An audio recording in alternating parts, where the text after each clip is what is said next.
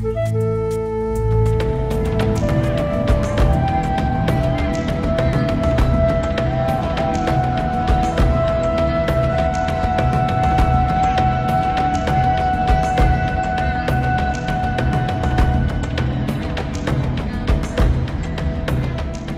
and welcome once again to In Search of Christianity, brought to you by Bible Talk. We are blessed that we can be together with you. Amen. And on behalf of Mark and Alice and myself, we want to greet you and welcome you in the name of our Lord and Savior, Jesus Christ. Uh, we're continuing on in our study. Mhm. Last week we started, and I, I titled it Mystery Babylon The Kingdoms of Confusion. So we're looking at Babylon as a starting place of what has become major changes in what Christianity was intended to be. And the reason for doing that is not to sit in judgment of the things that are wrong, but to find the things that are wrong in order that they might be corrected. Because our desire is to be doing what Jesus wants, Amen. hearing from Him and doing what, what God the Father wants, all right? Amen. So we're, we're going to pick it back up right there. But before we do, I'm going to ask Brother Mark once again if you'll ask God's blessing upon our time Thank together. Jesus. Oh Lord, we just ask you to, well, you're already with us, Amen. but to guide us and to enlighten us to what you want us to know and Yes. how to act and spread it to others.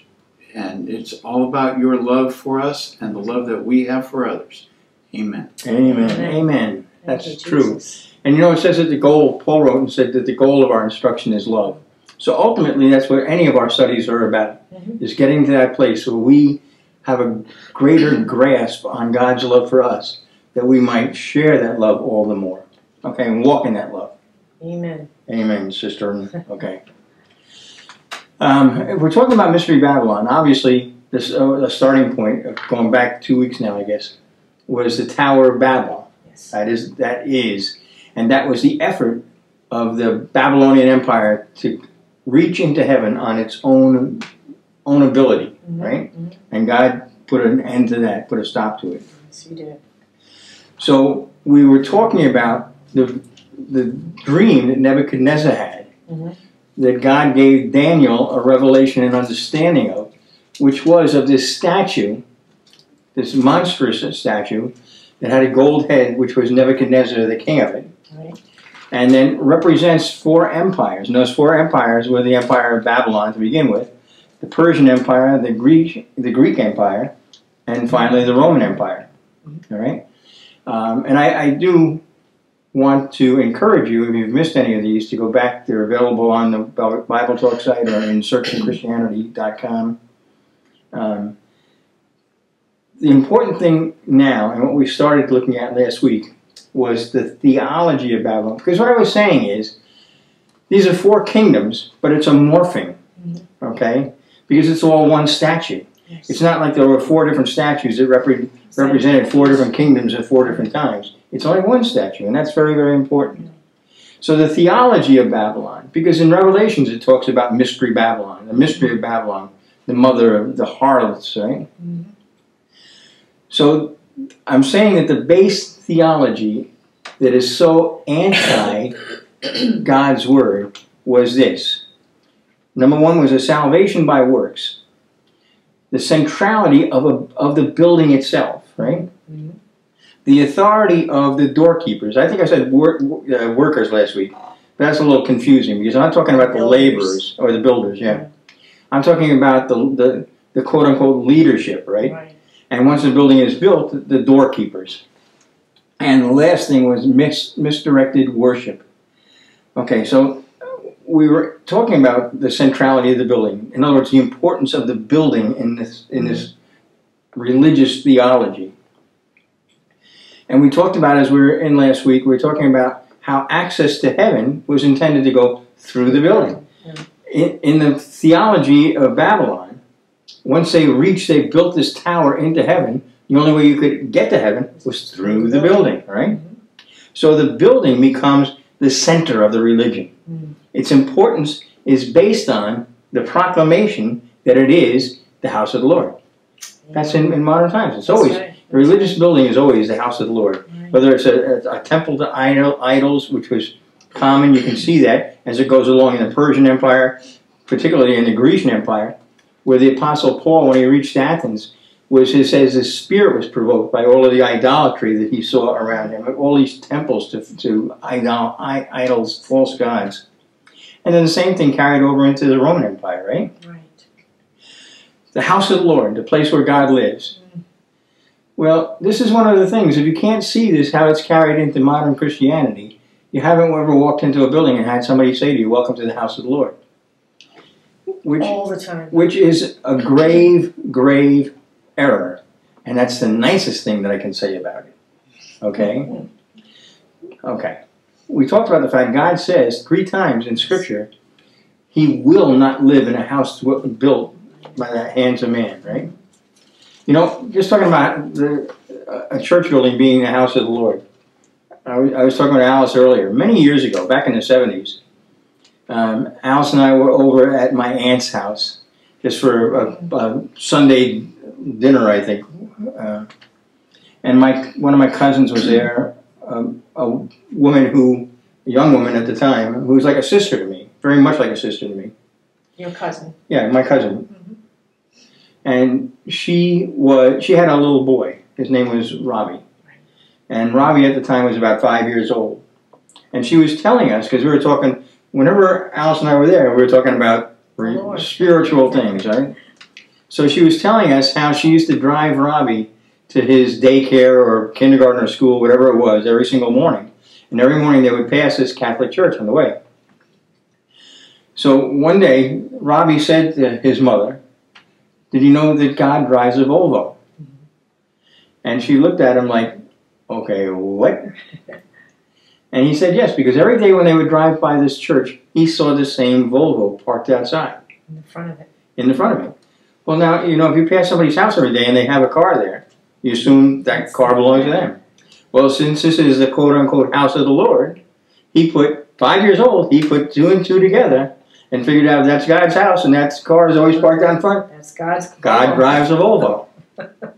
Sounds ridiculous? Want to know something? We have that same childish error in the Yes. church today. Yes. How clear can it be? In Acts 17 14, as I said, one of the three places.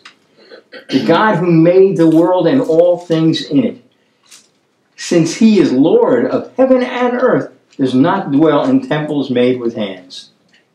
This perversion is so evil because it denies the incredible truth that we are the house of the Lord and absolutely creates an atmosphere where a believer acts differently inside that quote unquote church building than he does outside that building.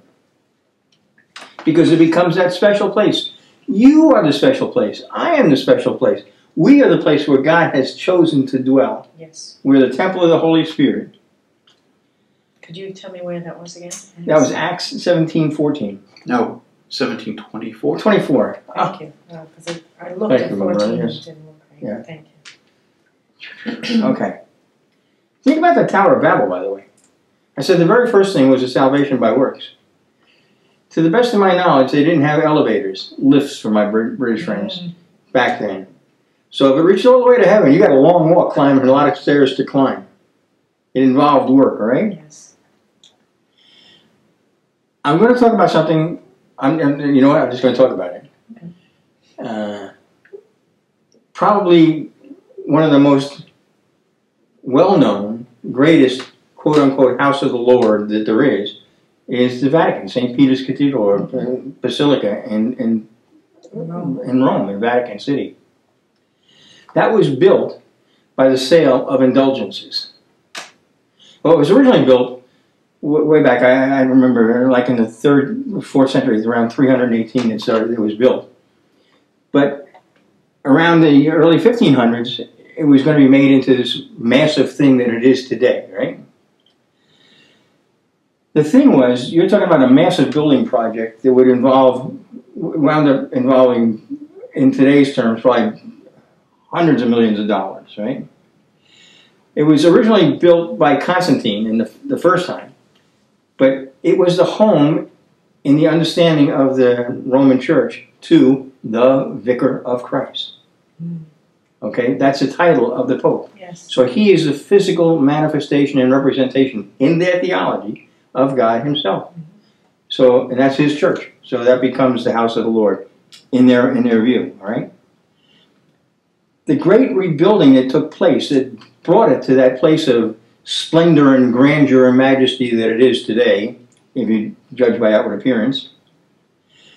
The massive expense required led to increasingly perverse financial schemes throughout the empire, but its single most important method came to be the sale of indulgences under Pope Leo X.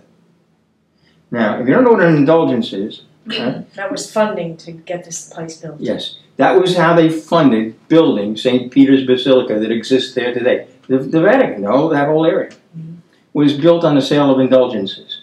Okay, this is that's what led to Martin Luther's Protestant Reformation. The 95 theses that he nailed to the, to the door of Wittenberg Cathedral was about the sale of indulgences. Mhm. Now, these indulgences are they're- stem from a theology that involves a place called purgatory. Mhm. Now, you know, some of you may some of you may be very familiar with this, and some of you may not know what I'm talking about. But purgatory is kind of a temporary hell Yes. where the average Christian has to go to after he dies to pay for his sins, to be cleansed for his sins. Okay. Which is mm, totally anti-scriptural. Well, it is. This is what Martin Luther said, and this is why this is why he nailed those 95 theses onto the cathedral door, or proclaiming, because he had gotten to the place where the the Word of God was open to him, and he saw that this was not this is not God's plan. This is not God at all. It is the, the opposite of God. We talked last week about this theology where God says that salvation is the free gift of God, not of works, lest any man should boast. But because the theology of the Roman Church is that after you die, unless you are special, all right, uh, that you would have to go to this purgatory, Mhm. which is separation from God, and it is you're you're experiencing basically the punishments of hell in order for you to be purged and cleansed of the sins you committed.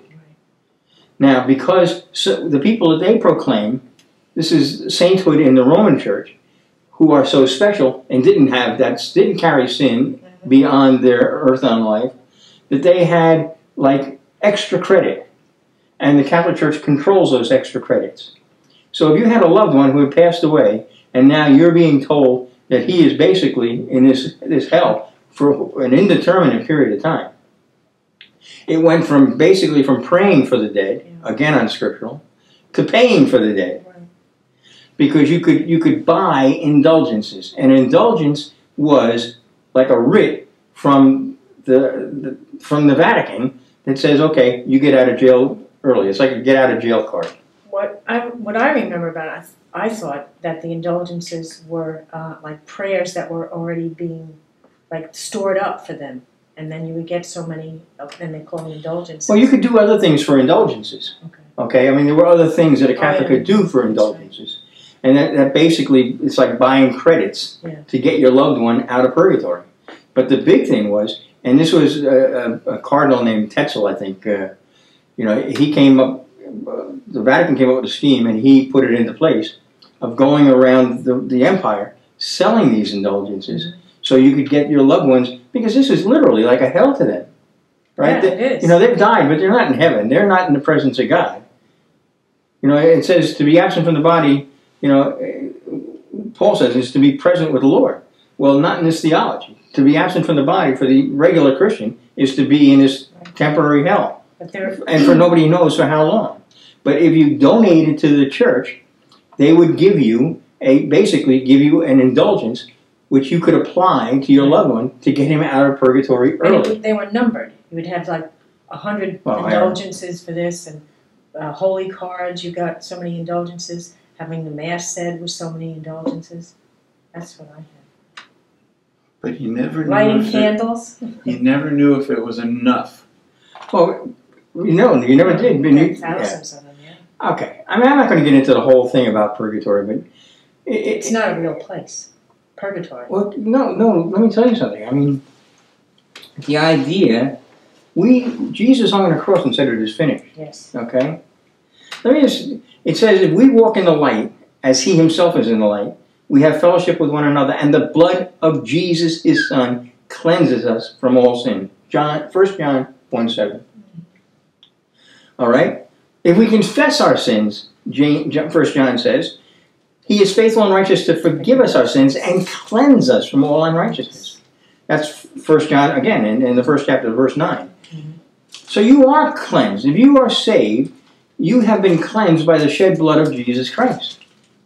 You don't have to go and have, you know, suffer beyond death in order to be cleansed from that sin. We, you know, we've been cleansed by the blood of Jesus Christ. But that was connected to the building because the building was central to the religion. And by the way, I, I, I really want to make this clear. That is not, and this is what I'm saying because it has affected all of the church to today. All right. Alice and I spent a lot of time, in, a fair amount of time in Europe, and we've traveled around in Italy. I mean, all these massive, massive, massive cathedrals, and they are indeed massive.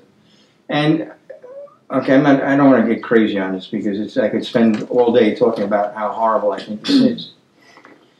But the, the fact is, people donated to those or paid for those, worked on those, because they thought they gained God's favor by doing that. I got saved in the mid 70s. A few years later, some of you may remember the Crystal Cathedral. Yes, I do. Okay? The, you're familiar with the Crystal Cathedral out in uh, California. I can't remember what part it uh, Garden Grove, California. Right. right? Garden Grove, California. And Robert Schuller came up with this and, and was building this massive, very unique at the time, very unique, and Mhm. certainly unique outside of the Catholic Church to have this, you know, massive a building project, the Crystal Cathedral. I will tell you, I, I met many, many people because he had that television show, and on the television show he was raising funds to complete the building of this. Yes. Well, I, I can't. I don't know what was in his heart or mind, honestly, because I didn't spend a lot of time there. But I encountered many, many Christians, Mhm. people who call themselves Christians, who thought indeed they were buying God's favor by contributing to that building. They thought because they were putting money into this building, uh, you know, a good way to put it, they thought God owed them something. Now, Alice and I have had the opportunity, you know, in our ministry, to, I have traveled and, and visited with for whatever reasons God had, mega churches all over the United States of America. All over the United States. Um, most people, I find, look at these buildings and they are awed by the magnificence of the building. I am as likely to be repelled by the, by the beauty and magnificence of the building because it has become, like the Tower of Babel, central to the theology. Okay? You have to enter the building to enter the church. We did a couple of weeks ago. We did a study on in this series about evangelism, how evangelism works.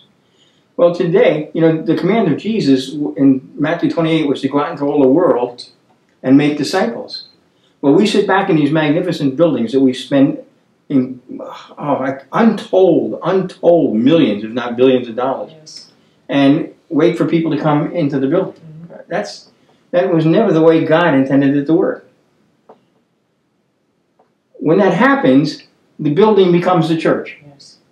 Go out and do your own little survey. Ask And ask people- Yeah. You know what church it is, and they'll tell you, "Oh, it's that building down there. It's that building down there." Mhm. How impressed was Jesus Christ with buildings? Not at all. Look at Matthew 24 when he came out of the out of the temple. And you want to know something? The temple in Jerusalem was impressive. There's no doubt about that. I mean, this was absolutely impressive. He was unimpressed. He was unimpressed. His his disciples were impressed. So they were saying, "Wow, look at this!" And he said, "You know what? Not one stone will be left on another." Said that'll be torn down in three days. Okay? Because it's not about the building.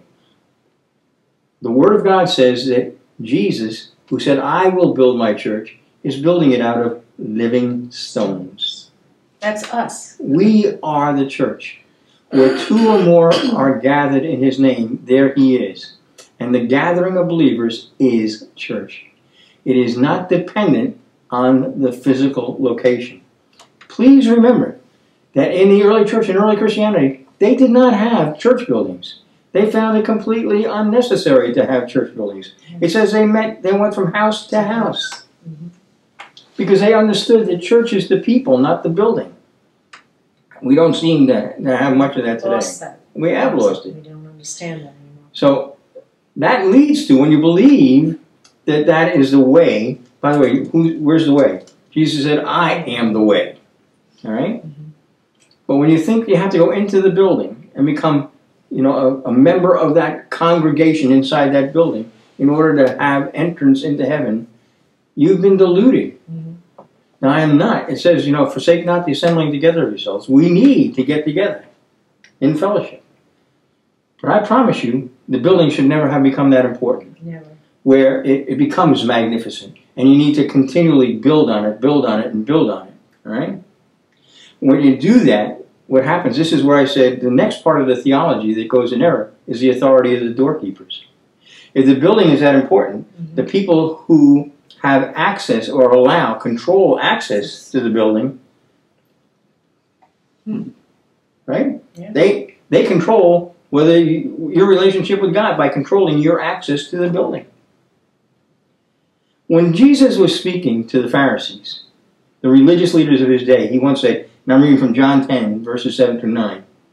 Jesus said to them again, Truly, truly, I say to you, I am the door of the sheep. All who came before me are thieves and robbers, but the sheep did not hear them. I am the door. If anyone enters through me, he will be saved and will go in and out and find pasture. Jesus is the only way. That's what he said. Yes. He is the way, the truth, and the life. He is the only way to the Father. No Nobody comes to the Father but through me, he said, right? If if the Tower of Babel was to be the axis, the way into heaven, then an elite group would have control of who had access to the building. And therefore, ultimately, to heaven. Doesn't that make sense? This was the priesthood and the leadership. That's right. too. What happened in the Tower of Babel, where if at the door some guy said, "Oh, y- y- you can't go," You can't get to heaven. We can't get to heaven. You you can't know, get to heaven. where where would you be? Well, that's that's the whole point. Mhm. And it's the same way today. But we we think that we think that access to God is found inside the building because the building has become central to Yes. Christianity. I'm not saying buildings. I'm not saying it's wrong to have a building. I am saying that it is misplaced. The emphasis we have put on buildings, mm-hmm. and therefore how we revere them, how we spend so much resources. They become idols. They have, be, the, you know, that's a good way of putting it. The buildings have become idols. That's right? All right. Now, the kind I'm going to talk about the priesthood. The concept of priesthood is in, indeed entirely scriptural, right? Yes, absolutely. In Judaism. Mhm. In Judaism. And that was established by the Lord Himself. Now, Jesus on earth gave authority to the apostles, Yes, he did. okay? He gave them authority to serve the sheep. Yes. Listen to this now. Jesus called them to himself and said, You know that the rulers of the Gentiles lord it over them, and their great men exercise authority over them. It is not so among you, but whoever wishes to become great among you shall be your servant, and whoever wishes to be first among you shall be your slave. Just as the Son of Man did not come to be served, but to serve, and to give his life a ransom for many. Matthew 20, verses 25 to 28. The whole concept of ministry and serving in, in or leadership in true Christianity is all about serving. Always. The ministries that were established by the Lord to function within a church were to encourage and equip, never to control access to the Lord. So what the priest should be doing is grabbing them and pulling them in Well, instead of trying to keep them out. Well, but it's not even. That's not they even- don't. yeah. They don't have the access to the Lord and the fellowship and everything is not in their hands. That's the whole point. I mean, you know, you know, a real, really great example of that was. Think of this, all right, in, in Mark 10, um, 13 and 14. Remember, I'm sure you all know this, and it's in, all- I think, in Matthew, Mark, and Luke. They were people. They were bringing children to him so that he might touch them. Yes. But the disciples rebuked them. Mm.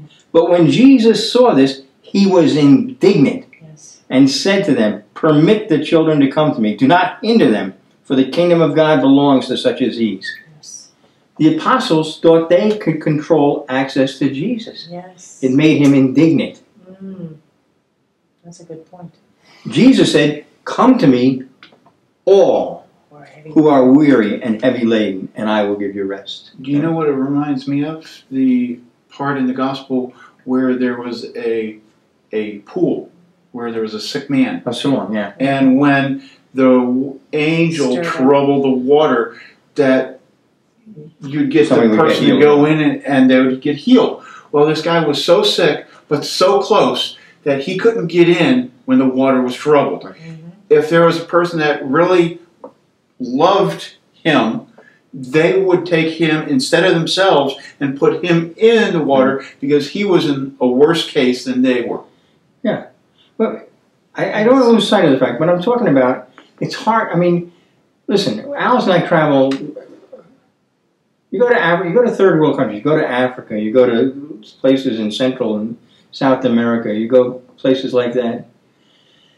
And I have I have preached in church buildings that don't have windows. I mean, they're. I was just looking at a picture. Ramshackled. I was just looking at a picture and showing it to Alice just the other day. If I was in Havana a number of years ago, and the the building I was in was just a, a rusted tin building. And oh, what a glorious presence of God there was in that place. Mm-hmm. I, I was talking, I was sharing with a bunch of pastors in there. We have put such a focus on the building, and it is it is in, indeed idolatry. It is, Absolutely. in, Yes. and I think of I had to think about all of the money that has been spent on these buildings that could have been used. You know what to do? To go out and make disciples. Absolutely. because that is the Great Commission. Absolutely. We have created a situation where, again, we're sitting there, we're building these great big buildings, trying to make them as attractive as possible, hoping that people will come in. All And make them as comfortable as possible. Yes. Well, make them as comfortable because people want comfort. That's right. Exactly. We have to get beyond that. We have to come to understand what the true church is. It is not a building, other than a building built with living stones. The church is a gathering of believers. I don't care where you are. And I have shared this all around, all around. Mhm. I said, if you're in a grocery store, if you're, you know, and you meet a couple of other brothers and sisters, and you skin, you you, have, you have in church, Mhm. right? That's right. I was, we've had church in some mighty wonderful places. Yes, we have. We need to get back to that place where we start thinking scripturally, Yes. that we appraise things scripturally, and we understand that buildings are nice to have, but it doesn't matter if you have it or not. They shouldn't is- become idols. Yes. That's what it. Because you're- David said, "E- Yea, though I walk through the valley of the shadow of death, I shall fear no evil, for thou art with me. You want to know something? He said, I will never leave you nor forsake you. Where you are is where He is. Thank you, Jesus. At work, at home, in the grocery store. Come to understand that. And Father, I just thank you, Lord God, for your presence in our lives, Lord God. And I thank you that you have made the way and that you are the door. In Jesus' name, Father. Amen. Hallelujah. Till next time, God bless you and hill far away stood an old rugged cross, the emblem of suffering and shame. But I love that old and best for a world of lost sinners